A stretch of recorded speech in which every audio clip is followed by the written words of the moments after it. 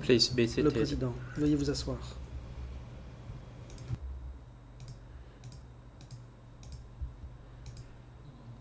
Reprise de l'audience. The court is back, la parole est donnée à la défense again, the de team for qui pourra continuer à présenter to continue with the presentation of uh, brief.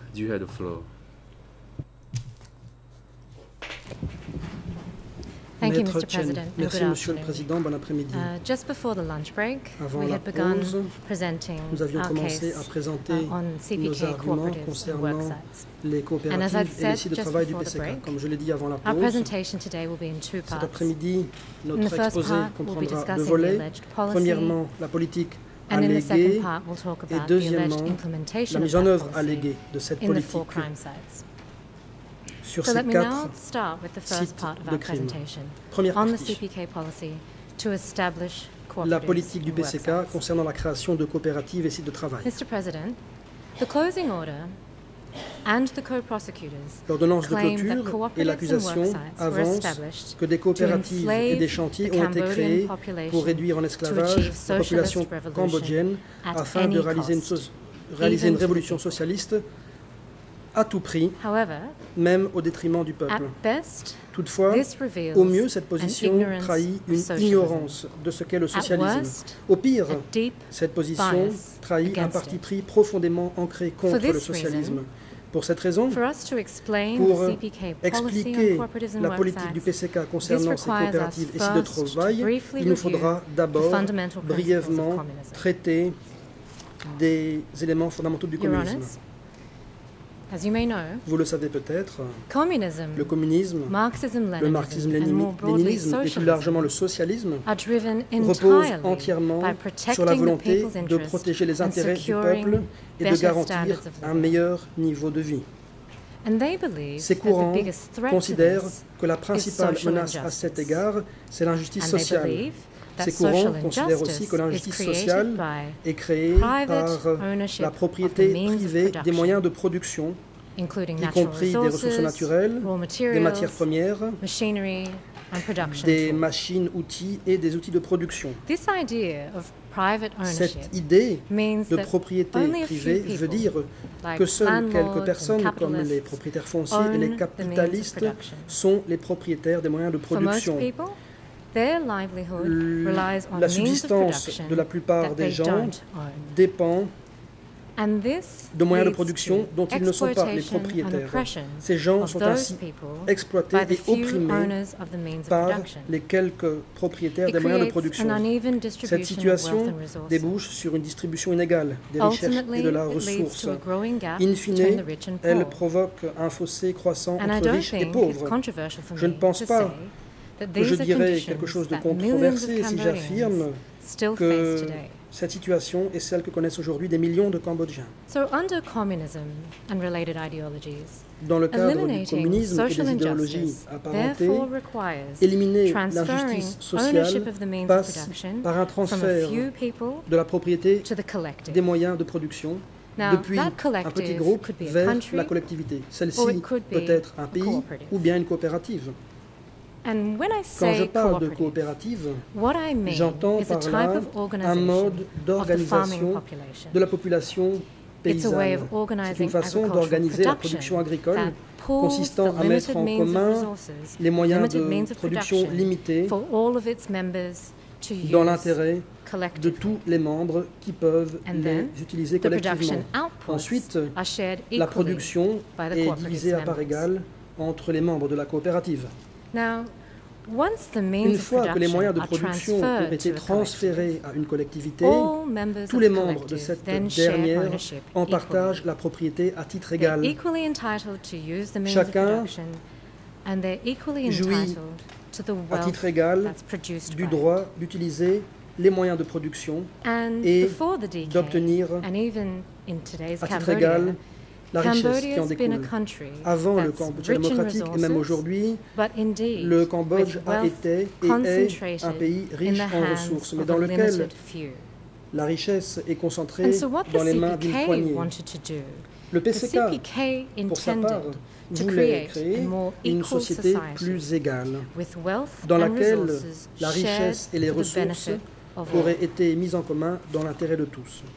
This was the rationale Voilà la raison establishment d'être of cooperatives de la création and its launch de coopératives. and other movements. Voilà la What they raison wanted to do des réformes agraires et transfer d'autres private ownership réformes. of the means Le of PCK production to the collective, voulait transférer la propriété privée des moyens de but to production liberate and empower them. à la collectivité. Non pas réduire Now, le peuple en esclavage, mais bien le libérer et l'émanciper. La semaine passée et dans son mémoire de clôture, l'accusation a soutenu que l'intention in du PCK de réduire en esclavage la population est clairement démontrée However, par la This propriété étatique exercée sur la population.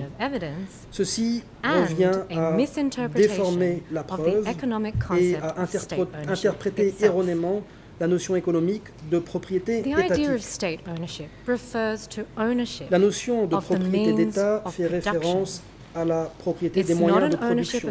Il ne s'agit pas d'une propriété exercée sur des êtres humains. Et d'ailleurs, ceci est expliqué clairement dans le document qui a précisément été cité par l'accusation à l'appui de son this is argument. the document C'est le document E E3/5, E3, barre 5, which is the August le 1975 numéro de l'étendard révolutionnaire datant du mois d'août 1975.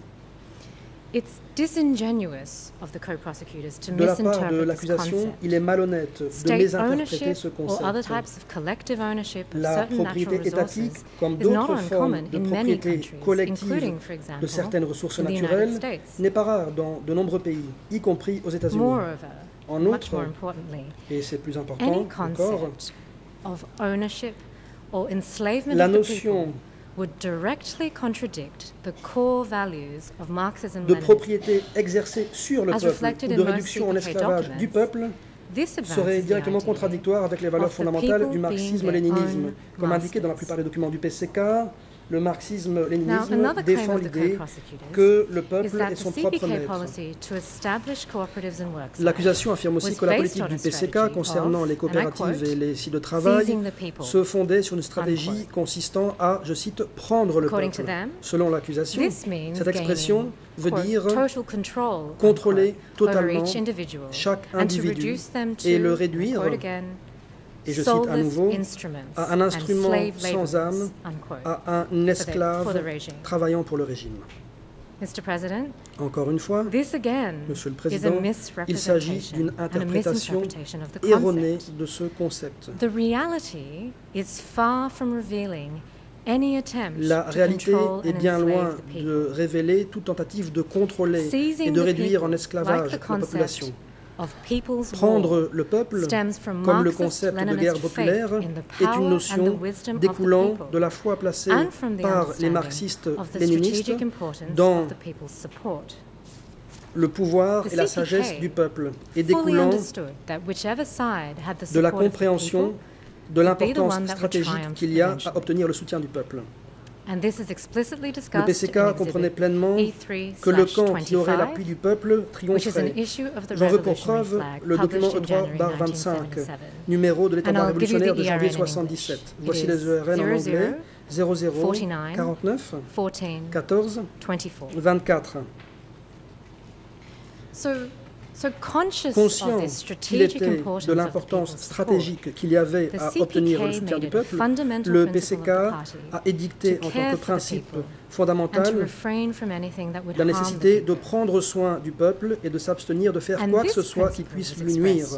Ce principe a d'ailleurs été exprimé dans de nombreux documents du PCK, comme le numéro de l'étendard révolutionnaire que je viens d'évoquer, at the ERN à la page suivante, English, VRN en 00, anglais 00 49, 49 14, 14 22. 22.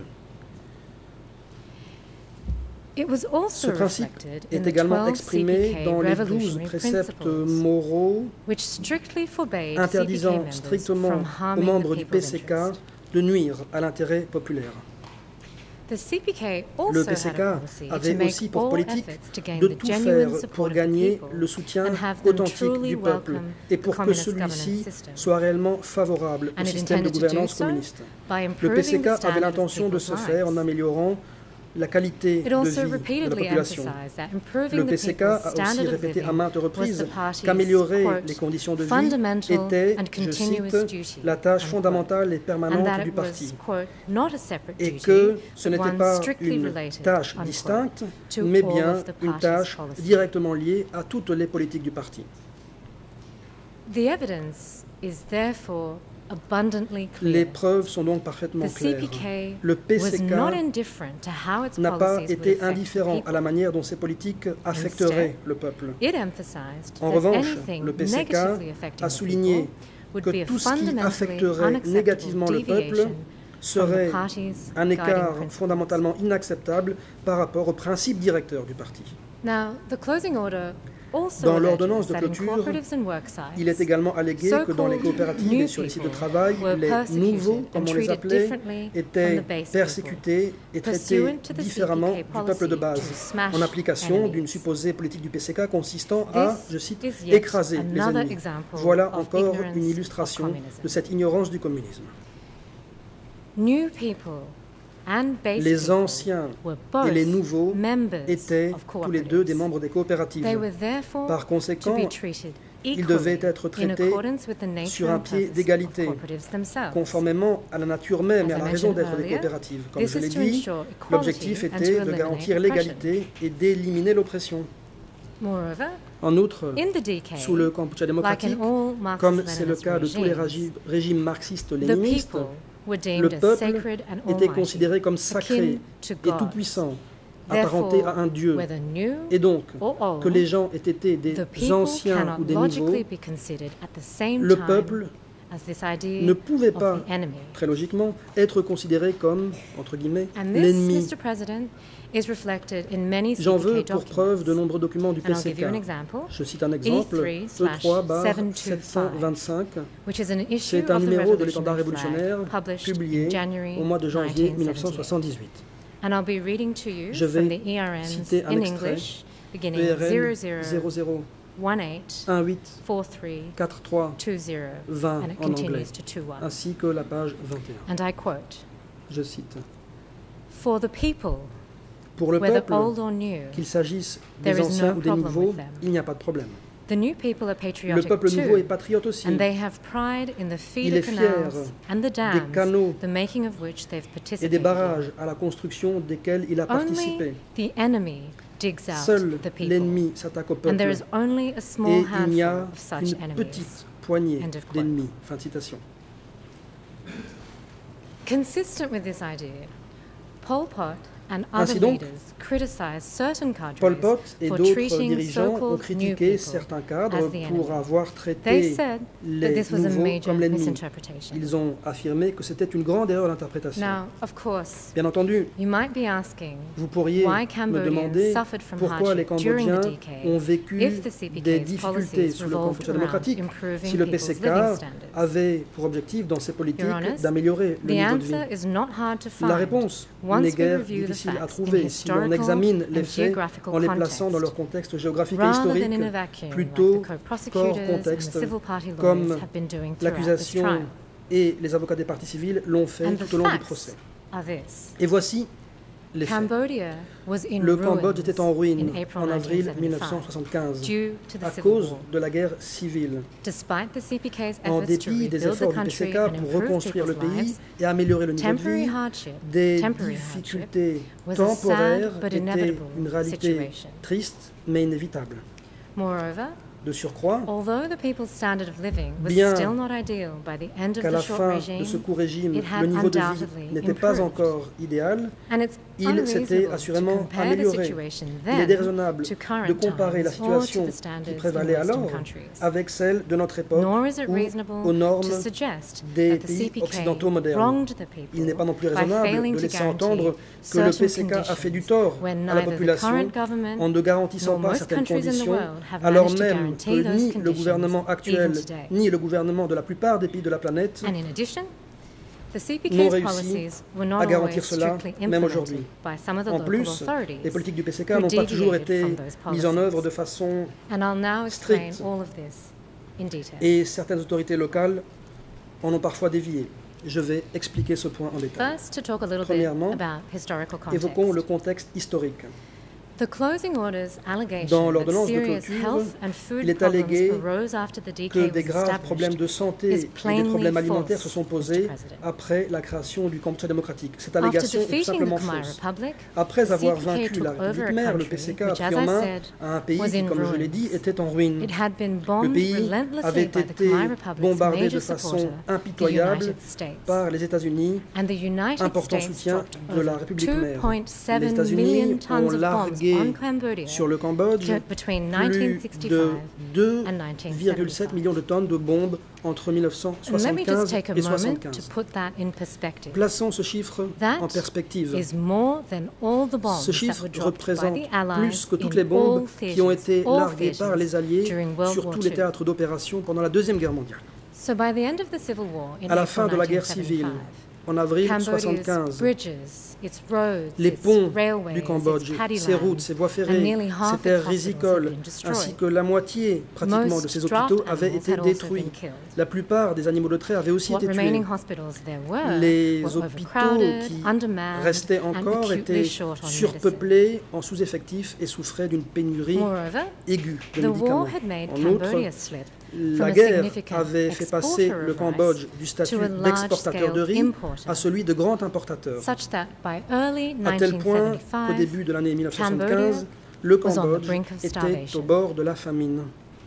the U.S. Agency for L'agence International américaine USAID in its April a relevé dans son 1975 rapport report d'avril that, 75 que, ici je cite, General deprivation des privations générales will stretch ainsi que next des souffrances two or continueront three pendant les deux ou trois prochaines années Tant que le Cambodge Unquote. ne pourra pas renouer avec l'autosuffisance en riz. Voilà les conditions déplorables auxquelles ont été, a été confronté le PCK lorsqu'il a pris le pouvoir. Already En plus de cela, et comme l'a déjà longuement expliqué Coupé la semaine passée, le Cambodge était aussi confronté à une menace réelle, menace que sovereignty. Des puissances étrangères comme le Vietnam, The CPK's post-war mission menace qui pesait sur la récente indépendance et la souveraineté du pays. En réaction, la mission du PCK après la guerre a privilégié la reconstruction et la défense du pays. And now let's talk a little bit about À présent. Je vais justement évoquer cette mission d'après-guerre. Comme je l'ai dit, le PCK, le considérait que l'amélioration du niveau de vie était la pierre angulaire de toutes ces politiques. Saw PCK A dès lors naturellement considéré que l'amélioration du niveau de vie était, je cite, l'une des clés principales de la défense nationale et de la reconstruction du pays. Plus précisément, le PCK pensait que renforcer l'économie permettrait d'améliorer le niveau de vie et d'appuyer matériellement la défense nationale. A continuous improvement of living conditions would also maintain the people's support of the Améliorer Continuellement, les conditions de vie devaient également préserver le soutien populaire en faveur du régime, ce qui, à son tour, renforcerait la défense nationale. Celle-ci, à son tour, devrait préserver la prospérité et l'indépendance du pays, ce qui, in fine, devait bénéficier au peuple. Le caractère central du niveau de vie de la population au regard de la reconstruction nationale et de la défense se retrouve dans les principes directeurs proclamés par le 1977 PCK to 1980. dans son plan pour le développement du pays. Il s'agit du plan quadriennal enslaved Cambodians to grow 1977-1980. rice because it needed to L'accusation soutient que le PCK a réduit en esclavage les Cambodgiens pour les faire cultiver du riz. Du riz nécessaire à l'exportation, pour pouvoir l'échanger contre des armes et des machines-outils pour réaliser une industrialisation rapide. Encore une déformation malhonnête des preuves. Le principal objectif de la production de riz était d'alimenter la population et non pas d'exporter ce riz ou d'accélérer l'industrialisation. Dans son plan quadriennal, le PCK a clairement indiqué que la stratégie économique donnait la priorité It absolue à l'agriculture. La priorité n'était pas donnée à l'industrie et certainement pas à l'industrie lourde comme la fabrication de machines-outils ou d'armes. Cette stratégie se fondait sur des considérations réalistes, mais aussi sur le souci du PCK de garantir les conditions de vie de la population.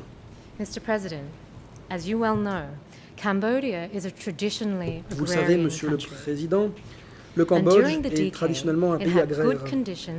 À l'époque du agriculture. démocratique, les conditions étaient appropriées pour développer l'agriculture, mais pas l'industrie. En outre, l'agriculture et surtout la production rizicole étaient guaranteeing essentielles people's basic pour garantir un niveau de vie minimum en période de famine. Telle était manifestement la menace la plus imminente. À laquelle était confronté le PCK. Concernant le développement de l'industrie, le PCK a décidé d'utiliser le peu de capitaux dont il disposait de manière stratégique en donnant la priorité à l'industrie légère sur l'industrie lourde. industry Pol Pot a expliqué que cela permettait them with daily necessities. And we're talking about que things c'était parce que l'industrie légère avait un impact plus direct sur le niveau de vie, dès lors qu'elle permettait de fournir des produits de première nécessité comme des vêtements, des moustiquaires, des E3/8 savons, des in couvertures. L'explication de Pol Pot 00 se trouve dans le document10 E3-8 en anglais 4072. 0010 4072. Also PCK a abundantly également clear in its indiqué très clairement dans ses documents rice que la production de riz était destinée essentiellement consumption à la consommation Cambodian people. intérieure Only du peuple surplus cambodgien. would be exported Seul l'excédent devait être exporté pour acquérir des capitaux, used to purchase lesquels devaient être utilisés pour acheter des médicaments, des produits de première nécessité destinés à la population, ainsi que des machines-outils qui étaient nécessaires pour réduire la quantité de travail manuel dans la production agricole. Now, to implement the CPK's plan for national reconstruction and national Pour defense, mettre en œuvre le plan du PCK concernant la reconstruction et la défense nationale, dans l'intérêt in fine was du peuple, necessary. Le travail de production et de construction était nécessaire. Au début des années 1970s, the 1970, United Nations l'Assemblée générale des Nations Unies a reconnu, je cite, que les pays en développement devaient consacrer toutes leurs ressources à la cause du développement. Fin de citation. L'Assemblée générale said that a making aussi dit use of, quote, Qu'utiliser, je cite, les terres non exploitées ou sous-exploitées permettrait de contribuer grandement à résoudre la crise alimentaire. Fin de citation. What the CPK did for Ce qu'a national fait le PCK au service de la reconstruction nationale correspond To à ces increase principes rice production édictés par to make more l'ONU land amenable to afin having more than one d'accroître la production de riz et d'accroître la superficie de terre pouvant donner plus d'une récolte par an. by building a network of dams Le PCK a privilégié l'utilisation plus efficace de l'eau chosen based on an en construisant un réseau de barrages et de canaux. L'emplacement de ces ouvrages hydrauliques était soigneusement choisi après une analyse des caractéristiques géographiques de l'endroit. De même, La construction d'infrastructures de défense, comme les aérodromes ou les fortifications, se were aussi sur un examen soigneux des besoins et des ressources. Les infrastructures de défense étaient construites par les soldats, tandis que la production de riz ainsi que les ouvrages hydrauliques étaient surtout pris en charge par les civils dans les coopératives. En même temps, chaque Cambodgien avait le devoir de participer à la reconstruction du pays en fonction de ses capacités. Now moving to my next point. Je passe au point suivant. As the CPK explained Comme to its le PCK l'a expliqué à ses cadres, them to the people, Et par leur destruction entremise and the shortages à la caused population, by the civil war la destruction et les pénuries provoquées par la guerre civile ont été telles que l'après-guerre a été une période it was spéciale. necessary for the Dans cette période uniquement, to Les temporarily Cambodgiens devaient endurer et surmonter temporairement des difficultés dans l'unité. way, they could Ainsi, rebuild the ils pourraient reconstruire le pays et parvenir collectivement à un niveau de vie plus élevé aussi rapidement que possible. Toutefois, le PCK a souligné que cette situation ne serait que temporaire et que les choses s'amélioreraient si chacun y mettait du sien. Monsieur le Président, Any messieurs les country juges. that went through Tout World pays ayant vécu la Deuxième Guerre mondiale devrait bien connaître ces impératifs d'après-guerre, National planning, à savoir la planification nationale, la nationalisation de l'industrie, of the public la mobilisation massive du public pour l'effort The de rationing of reconstruction, food le rationnement de la nourriture et des All these autres measures produits de première nécessité. Toutes ces mesures n'ont été que in trop Europe fréquentes, y and the compris en United Europe et aux States États-Unis, for years after World War II. pendant plusieurs années après la Deuxième Guerre mondiale. In the DK, it was also a Cambodge right of all démocratique, C'était également un droit pour tous les citoyens de travailler et de disposer de moyens de subsistance garantis. And in contrast À la différence de l'emploi the salarié, le système communiste is d'affectation des tâches vise à éliminer l'exploitation des by their travailleurs par leur employeur. Le travail affecté par ce système n'était pas une réduction en esclavage. Il s'agissait de mettre en œuvre le mode communiste d'organisation de la main-d'œuvre pour créer le plus de valeur possible, laquelle valeur a ensuite été distribuée à part égale à tous les membres de la société sous la forme de nourriture et d'autres biens. La quantité de biens distribués à chacun dépendait de la richesse totale produite par la société. Par conséquent, alors même que la reconstruction du pays était une nécessité urgente, le bien-être de la population est resté la priorité centrale du PCK et sa priorité. So with that in mind, En gardant cela à l'esprit, le PCK a principles édicté and des principes directeurs ainsi que des to normes détaillées afin de garantir un meilleur niveau de vie. For instance, Ainsi, par exemple, il a souligné à maintes that the people reprises should not work que without sufficient rest les gens ne devaient work pas travailler sans as assez this de repos their travailler la health. nuit car cela pourrait nuire à leur santé.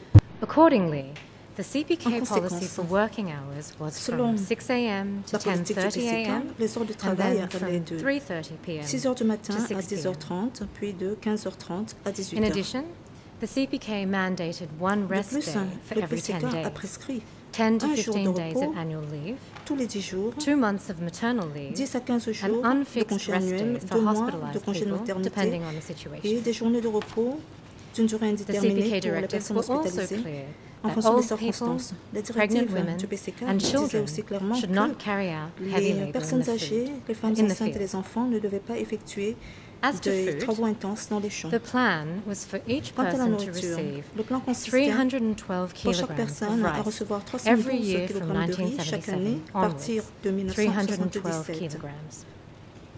Kilograms. 312 Vegetables, kg. meat, and fish Les were to légumes, be provided la viande regularly, et le poisson and dessert devaient être served at fournis least once every 10 régulièrement et le days. dessert servi au moins une And fois given the shortages, tous les 10 jours. food rations Vu la were not a pénurie, les way rations to enslave alimentaires the people.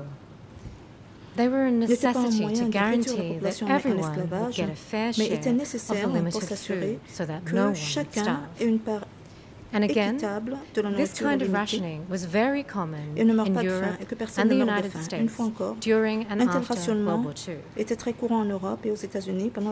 CPK also had policies to build shelters and produce necessities like clothing, blankets, and mosquito nets for the people, and thus to gradually meet everyone's needs. Et de répondre progressivement aux It besoins de chacun. De plus, also developed them domestically to Il importait les médicaments et développait Furthermore, d'autres médicaments au niveau local pour faire face aux pénuries. De plus, le PCK a exigé de tous ses membres qu'ils considèrent l'amélioration des niveaux de vie comme étant le principe moral le plus élevé de tout communiste. The cadres were told Entre guillemets. whoever made the people's On disait aux cadres que ceux qui contribuaient à améliorer la vie de la population faisaient du bon travail. In reality, not all cadres Bien sûr, dans la réalité, policies correctly. Tous les cadres n'ont pas correctement appliqué ces politiques. duties, the CPK Et pour les cadres to qui ont manqué à leurs obligations, le PCK a pris des mesures pour mener des enquêtes et pour les punir comme However, nous l'avons indiqué tout au senior long de nos présentations. Toutefois, à la connaissance des hauts dirigeants comme Nunchia, l'époque, la majorité des cadres faisaient de leur mieux.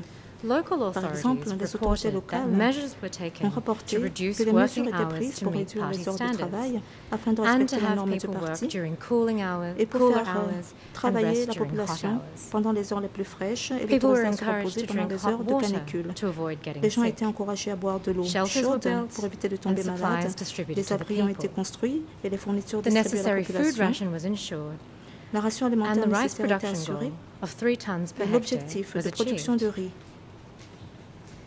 de 3 Now, tonnes par hectare a été réalisé. co-prosecutors La semaine dernière, l'accusation, une fois encore, a dénaturé les éléments de preuve. They claim that in his 2nd of April On prétend 1976 telegram que dans to son télégramme du 2 avril Kepak proposed to 1976 reduce adressé à Pol hours. Pot, reduce a proposé de réduire les heures de travail, mais ignored. sa proposition a été ignorée. And what they were talking about, Mr. President, is Exhibit E Ils en parlaient dans le E3-952.